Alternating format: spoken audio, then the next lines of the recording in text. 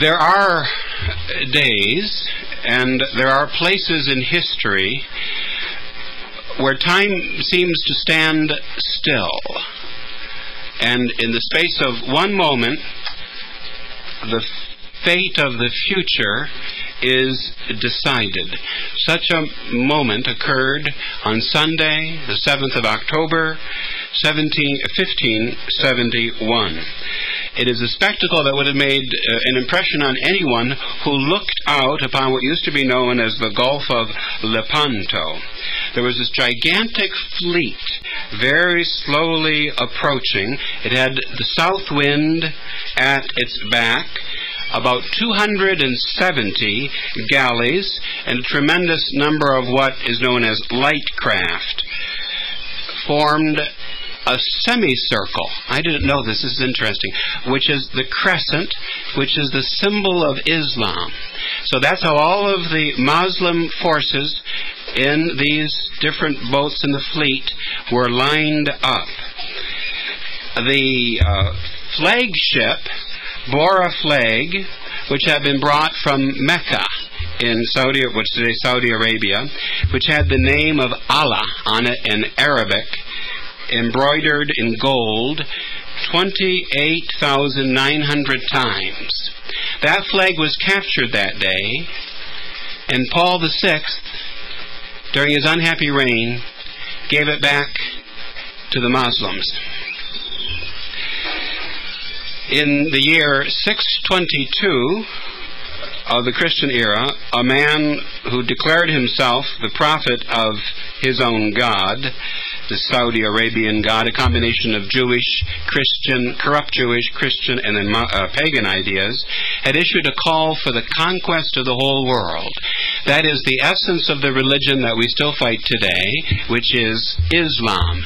Islam means submission. In other words, you submit to my religion by the very name, it is not so peaceful a religion as President Bush and others would have us to believe. But what stood in the way of that fleet, all those ships, all that naval power, winning that battle, taking the kingdom of, of, of Venice, and then from Venice, the whole of the Christian West? There was a smaller fleet which sailed into the wind. They therefore only had the power of oars their ships were lined up in the shape, yes, the shape of a cross. It's very interesting.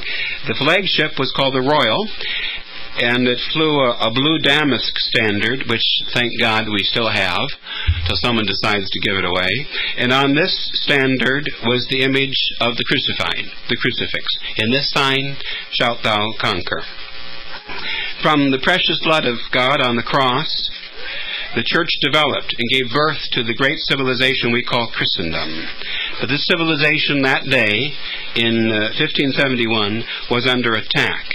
After Mehmed II had conquered, conquered Constantinople, and with it all the Christian empire of the East, the Turks regarded uh, the day of their universal dominion as, uh, as imminent to come at any time. They had in 1521 taken Belgrade, and in 1526 Hungary, and they were already then at the gates of Vienna. And in Italy, they had invaded and laid waste to all the coastal regions of the southern part of the peninsula. And in 1570, the Turkish ambassador at the court of Venice carried an ultimatum from the Sultan of the Sublime Porte, as it was, as it was called. Either you give up the island of Cyprus to us, or there is going to be a war. Venice refused with disdain this ultimatum, and Cyprus did fall to uh, the Moslem fleet uh, uh, in August of this same year. Now, according to the terms of the surrender, all of the troops of the Christians, of the, of the Venetians, were to be safe. No one would be put to death. But as soon as the Turkish took over, they captured the Christian commander, and he was skinned alive by the Turks, and then his skin was stuffed with straw. And his, his uniform was put on on what was left of his corpse, and it was dragged throughout the city. And there was terror in the Mediterranean Sea because it seemed that Islam had the same fate in mind for the rest of Europe as for the Christians of Cyprus. This tells you why, by the way. You remember from the 60s, there was quite a bit of to do in the early 70s in Cyprus. That's why the Christian Cypriots can't bear the Turks because they are blessed with a long memory, which here in the United States we sadly don't possess. Now, what made the difference was that seated upon the papal throne was a true pope, a great theologian and a saint. His name was Michele Ghislieri, took the name of Pius V. We know him as a saint today. He appreciated the seriousness of what was facing them. And since the Turks had already declared war in conquering Cyprus, he realized it would not be on their part a, a, preemptive strike, but simply a defensive measure, a defensive measure against this attack of the Muslims. And he, with very moving words, uh, urged all of the Christian powers to fight against the aggressors and for Christianity to be defended. It is interesting to note that not everybody responded to the call of Pius V. Um, the victory of the Turks had been made possible in part by the complicity of certain Christian powers such as France which was supposedly the eldest daughter of the church, but which actually at this time encouraged and financed the Turks in order to weaken France's traditional enemy, Austria. And it was also in the name, oh, about a century later, of the hatred of Austria that the French uh, had um, sided with the Protestants in the, the Swedes in particular in uh, Europe, and thus many countries today are Protestant rather than Catholic because of the French political policy. France, of course, was to pay dearly for this by the terrors of their own revolution. But still, thanks to the prayers and uh, the exhortations of the Pope, there was an alliance formed. Spain, Venice, and Rome made an alliance against the Muslims, uh, joined by the Duke of Savoy and then others. When the Holy Father was saying Mass, came to the last gospel one day before the battle, there was a man sent from God whose name was John. He had what's called an, um, a spiritual intuition, which is more than intuition you and I get, that Don Juan of Austria, uh, John of Austria, should head the Christian League. He, he, was only 25 years old. He was the illegitimate son of Charles V and the half brother of Philip II of Spain. And he, he, made, uh, he made a wonderful leader. The fleet was assembled, and uh, they sailed some 20 days before the battle itself occurred. It lasted, the battle did, five hours. Its outcome was decided in the center of the formation where the flagships were grappled together, forming a, a floating battlefield on which attacks were followed by counterattacks until finally the decisive attack took place. During this attack, Pasha, who was the Turk commander, was shot dead, and the crescent flag was hauled down, and the crucifix was put up. You can imagine the immense psychological blow to the Muslims when that occurred. Now, this fight was an occasion for many Christian men, to, as they say, to cover themselves with uh, glory. One commander, the commander of the left flank of the fleet, actually fought on a good long time with an arrow in his left eye if you can imagine. And another man who was, I think, at the age of 75, fought on on the deck wearing his slippers because the slippers gave him better traction on the slippery deck with the blood and also the, the water washing over it than regular shoes would.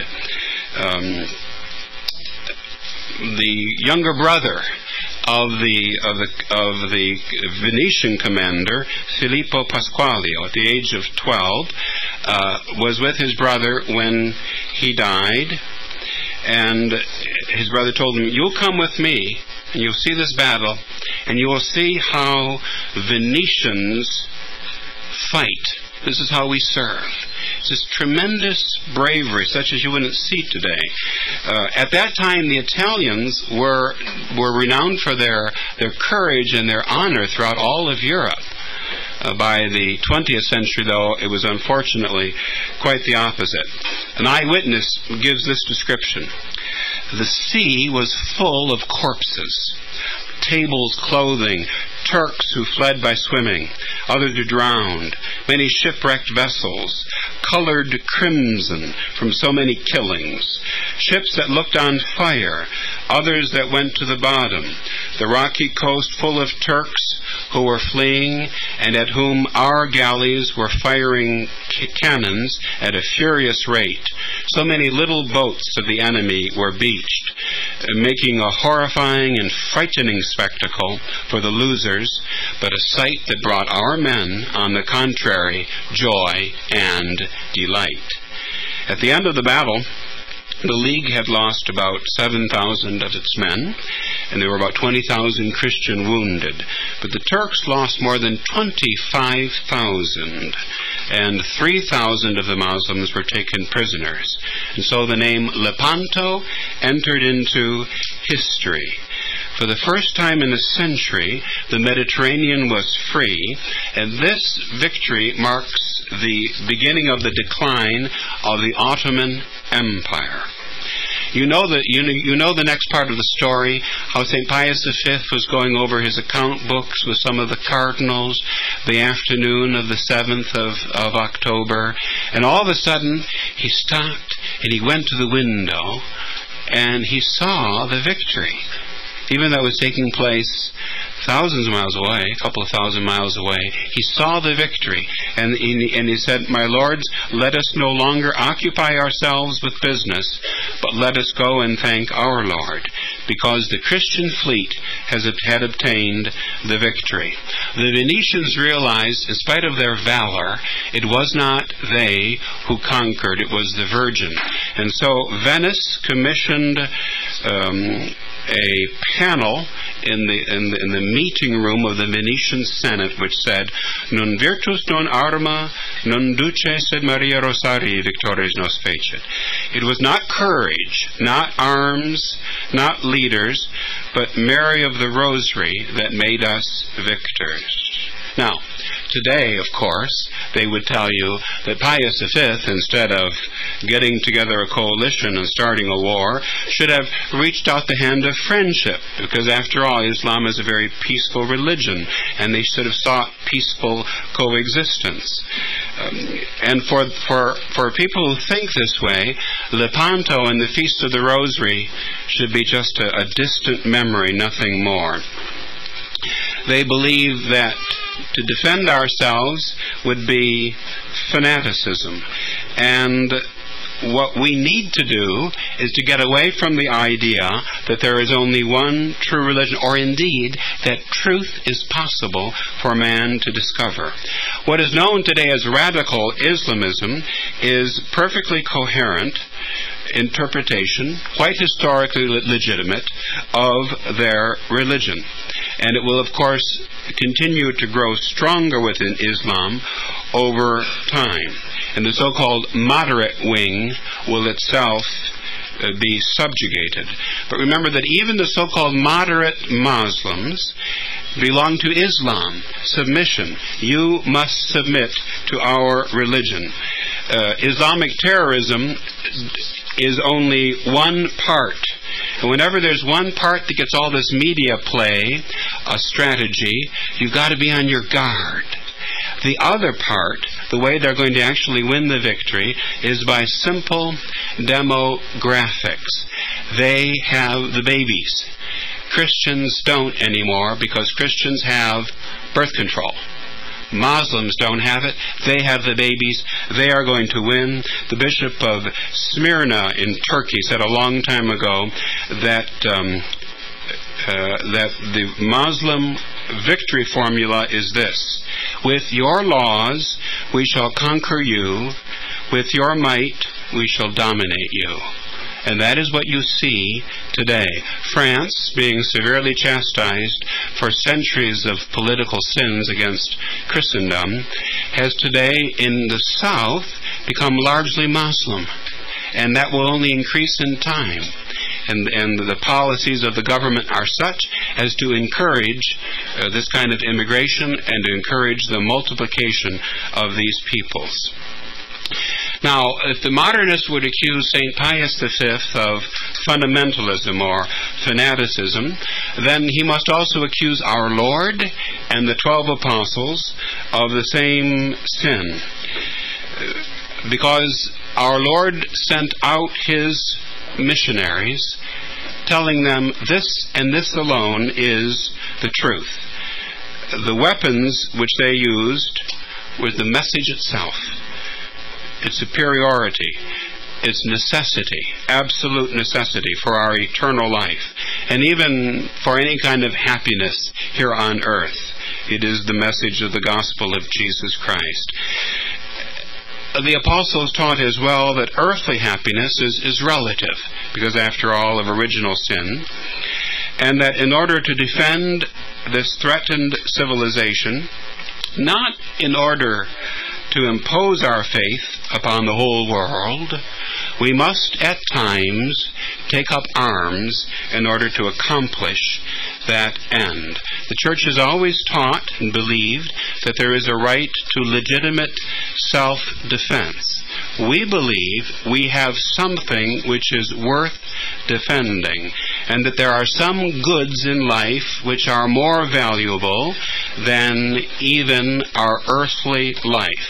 That is our faith and our Christian culture. It would be wonderful if we could avoid wars simply by labeling, uh, by not labeling the aggressor as the enemy. Uh, however, the enemy always chooses us. We don't. We don't choose the enemy. And I assure you today, I am not talking about Iraq. Iraq is not the enemy. The gates of the Gulag the concentration camps stand open for those who will not do everything they can in their power to defend Christian civilization. That will be the end uh, destination for anyone who believes that there is only one truth and that truth does not have many sides to it. The Catholic Church then has never professed pacifism. Uh, there are some evils greater than just physical evil. And the, the Catholic Church has taught us to distinguish the causes for a just war. According to these causes, what's going on today in the press and with President Bush can be seen easily as not a just war. Uh, we had a true pope in Pius XII. In a radio message in 1948, he explained that uh, that peace Peace comes as a call from, from God's law itself, but is, but is defined as the tranquility of order. This presupposes a just moral and social order, a Christian order. Thus, you have our work cut out for us. Uh, it is a natural order in which the laws of reason and nature imprinted upon the human heart are duly respected. This justice uh, represents the common good that we may not renounce. Because the renunciation of this common good, the denial or destruction of the natural order of things, the Christian order of things, has as its consequence our unhappiness now and our eternal destruction in the fires of hell. The goal of peace, Pius XII explained, is the protection of humanity's goods insofar as they are the goods of a creature. Uh, a people that is threatened or already unjustly victimized, if it wants to act in a Christian manner, cannot remain in a state of passive indifference. That's you, and that is me today. The Christian doesn't fight because he loves war. He fights because he loves peace, true and a just peace, according to Christ's standards, who alone is our King. According to just war theory, war is illicit when it is waged without cause, but for those whose cause is just, war is not only licit, but in certain cases mandatory. Let us reflect in closing on the real enemy, the enemy within, who threatens us. Radical Islam is not wrong, as they'll tell you in the media, because it claims to possess the truth. It is wrong because it possesses error and not truth. If, in trying to uphold the truth, we end up, up in opposing error, we uphold relativism instead, a vision of the world in which everything is fine and you have your truth and I have mine, and the whole idea of truth has to be thrown away, then we fall into a far greater error than that of the Muslims. The, the Christian combat presupposes the vision of a world on which truth exists, truth is worth living for, and truth is worth dying for. It is the truth of the Holy Gospel. In the place of this, the modernists offer us a vision of a world in tones of gray, where there is no longer any right or any wrong, and that submission, Islam, may very well be our future. This relativism makes us want to avoid all sorts of uh, uh, conflict, all sorts of polemics, and finally to give up testifying to what is good or, or true or just. This is the spirit of apathy. It is directly opposed to the spirit of the heroes of Lepanto in 1571, the spirit of the martyrs in every age. Martyrdom is the highest embodiment of the virtue of fortitude. The essence of fortitude, Thomas Aquinas teaches, lies in the disposition to suffer in order to bring about the good. For the sake of the good, the angelic doctor says, the brave man exposes himself to peril or even to death. We are the heirs of Lepanto, ladies and gentlemen, but sometimes we have proven ourselves to be quite unworthy of the glorious champions who went before us. The message of Christian fortitude that battle, that victory handed down to us. Christian fortitude, which makes us willing to sacrifice the good things of this life for the better things of eternal life. Lepanto, may it always remain in our hearts and in our spirits. Today, the West the Christian West is undergoing an attack without precedent, not only from within, but even from without. What remains of Christendom deserves to be defended because it is from this sometimes it seems pretty small remnant that a different and a better future could be constructed for generations to come if our prayer, the powerful prayer of our many rosaries said together, is heard by heaven. How must you fight? You must fight by praying, but you must also fight by informing yourself and informing your neighbor. Don't be afraid. How are you ever going to fight with an arrow sticking out of your left eye if you're afraid if someone looks at you crosswise when you disagrees with the nonsense they have to say at a family reunion, reunion or at, at work tomorrow? Inform yourself. Inform others. Don't give up. And then, by all means, if you're going to make the victory of Lepanto ours today, pray the rosary. Thank you for your attention. God bless you.